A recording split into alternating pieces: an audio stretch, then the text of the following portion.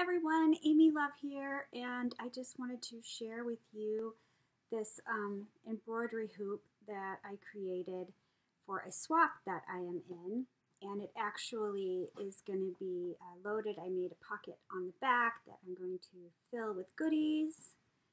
And then here's the front. Well, I did just notice I, I made a friends uh, label that says friends, and I haven't put that on there yet. So I'm gonna, I gotta add that. Oops. But I did uh, do a process video. If you want to see how I created it, just stay tuned. That's coming up next. Um, I'm just going to play music and do it slightly sped through. I know some of you have said you miss watching the process video, so I'm not speeding it up too much, just so if you like that kind of thing, you can just enjoy it. And um, I hope that you like it. Part of the deal was is it had to uh, have hearts and bows, so I did make kind of like a a little heart banner and I show you how I created these um, hearts in the process video. And then I added this uh, bow applique.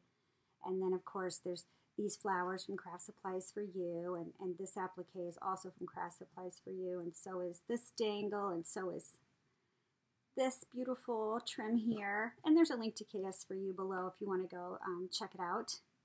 And uh, it was good. To, it feels good to get back to my first love, which is these shabby chic fabric projects because I have been playing with paper for a while now. So this was just, it was fun to do. So I hope that you like it. Let me know what you think. And thanks for watching, everybody. I have to apologize, everyone. I had to wicked speed this up just to be able to upload it. Uh, so I apologize because I really did want to just do a slow process for you. But I hope that you enjoy it anyway. And if you have any questions, feel free to leave them below. And at the end, I do have some uh, pictures of the finished hoop in more detail. So thanks for watching, everybody.